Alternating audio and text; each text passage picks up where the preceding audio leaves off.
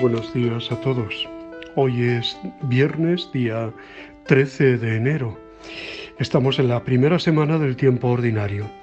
Como todos los viernes decimos de él que es penitencial, es un día propicio especialmente para acercarnos al sacramento de la confesión, para la conversión, para la vuelta a Dios y experimentar el amor, la misericordia, el perdón. Siempre tenemos necesidad del perdón y de la misericordia de Dios.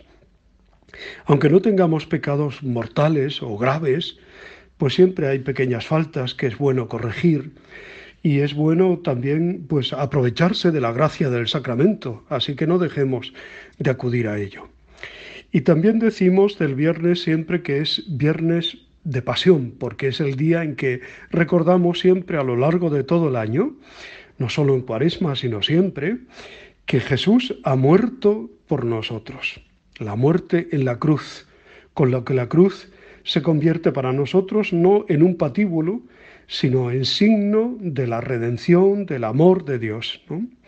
Así que damos gracias al Señor por, por habernos amado de esta manera, dándonos hasta la última gota de su sangre y redimiéndonos del pecado y de la muerte.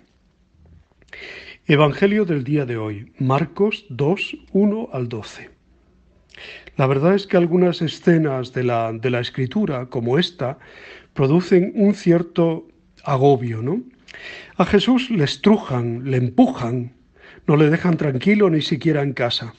Pero esta vez hay cuatro hombres que rebasan todos los límites, atreviéndose a colarse por el tejado con tal de que Jesús cure a su amigo.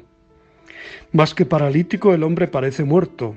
Le llevan, le descuelgan, le curan y parece no reaccionar, ¿no? El pecado atrofia los músculos del bien. Jesús saca al hombre de su pasividad y le permite descubrir que gracias a su palabra puede levantarse, cargar su camilla y salir a la vista de todos. Mientras que la gente sencilla da gloria a Dios, los sabios y entendidos se quedan entretenidos en sus cuestiones. Es simpático y lleno de intención teológica, este episodio del paralítico a quien le bajan por un boquete en el tejado y a quien Jesús cura y perdona. Es de admirar ante todo la fe y la amabilidad con los que echan una mano al enfermo y le llevan ante Jesús sin desanimarse ante la dificultad de la empresa, ¿no? A esta fe responde la acogida de Jesús y su prontitud en curarle y también en perdonarle. Le da una doble salud, la corporal, liberándole de la parálisis, ¿no?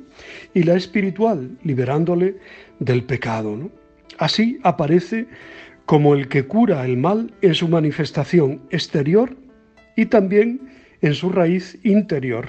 A eso ha venido el Mesías, a perdonar, Cristo ataca el mal en sus propias raíces. La reacción de los presentes es variada. Unos quedan atónitos y dan gloria a Dios, otros no. Ya empiezan las contradicciones. Es la primera vez en el Evangelio de Marcos que los letrados se oponen a Jesús, se escandalizan de que alguien diga que puede perdonar pecados no siendo Dios. Por lo menos es lo que ellos interpretan, ¿no? Y como no pueden aceptar la divinidad de Jesús, en cierto modo es lógica su oposición. Marcos va a contarnos a partir de hoy cinco escenas de controversia de Jesús con los fariseos, no tanto porque sucedieran seguidas, sino agrupadas por él con una intención catequética. Lo primero que tendríamos que aplicarnos es la iniciativa de los que llevaron al enfermo ante Jesús. ¿A quién ayudamos nosotros? ¿A quién llevamos para que se encuentre con Jesús y le libere de su enfermedad, sea cual sea? ¿O nos desatendemos, o desentendemos, mejor dicho, con la excusa de que no es nuestro problema o que es difícil de resolver? Además, nos tenemos que alegrar de que también a nosotros Cristo nos quiere curar de todos nuestros males, sobre todo del pecado, que está en la raíz de todo mal. La afirmación categórica de que el Hijo del Hombre tiene poder para perdonar pecados tiene ahora su continuidad y su expresión sacramental en el sacramento de la reconciliación. Por mediación de la Iglesia, a la que Él ha encomendado este perdón, es el mismo Cristo, lleno de misericordia, como en el caso del paralítico, quien sigue ejercitando su misión de perdonar. Tendríamos que mirar a este sacramento con alegría. No nos gusta confesar nuestras culpas. En el fondo, no nos gusta convertirnos, pero aquí tenemos el más gozoso de los dones de Dios, su perdón y su paz. ¿En qué personaje de la escena nos sentimos retratados? ¿En el enfermo que acude confiado a Jesús, el perdonador? ¿En las buenas personas que saben ayudar a los demás, como estos amigos, ¿no? En los escribas que cómodamente sentados sin echar una mano para colaborar, si son rápidos en criticar a Jesús por todo lo que hay y dice, o en el mismo Jesús que tiene buen corazón y libera del mal al que lo necesita. ¿En quién nos vemos retratados? ¿Eh? Es fácil apuntarse siempre al bueno de la película, ¿eh? sobre todo cuando sabemos el desenlace, pero hay que ser realistas, sinceros y coherentes. ¿eh? Sinceros y coherentes. Hoy la Iglesia celebra, entre otros santos, la memoria de San Hilario de Poitiers, eh, obispo y doctor de la Iglesia. Nació y murió en Poitiers, en Francia. Eh, es un, hombre del que conocemos que fue eh, muy tardía su conversión. De hecho, ocurrió cuando ya estaba casado y con una hija. Pues se convirtió, se convirtió al cristianismo. Y eh, en una situación complicada en la iglesia de Poitiers, pues fue elegido obispo, casi por aclamación popular, podemos decir, ¿no? Y es un hombre también que, bueno, pues que pasó por un cierto martirio, sobre todo el martirio de, verse expulsado de su propia comunidad ¿eh? por el, el emperador de aquel entonces. Este tiempo en el destierro le sirvió para descubrir a Orígenes y para aprender el griego, con lo cual no desaprovechó el, tiempo, ¿no?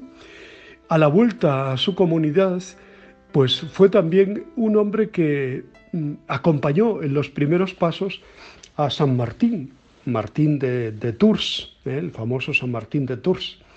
Y eh, en este tiempo, eh, Hilario, sobre todo, rebatió las doctrinas de los arrianos y escribió el primer tratado que se conoce de la Trinidad, de Trinitate, que además es fidelísimo en cuanto a, la persona del Padre, del Hijo, del Espíritu Santo, ¿no? y sobre todo transmitir la imagen del, del Padre lleno de amor, lleno de bondad, que, se da, que se entrega, del Hijo también, que comparte ese ser con el Padre, ¿no?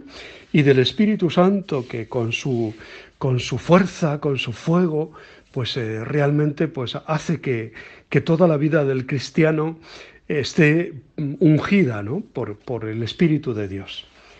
Pues damos gracias a Dios por la vida y la obra de San Hilario de Poitiers, y muchas felicidades a los que lleven su nombre, ¿no?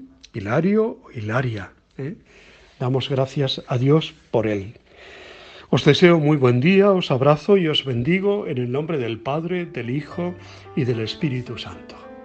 Os quiero.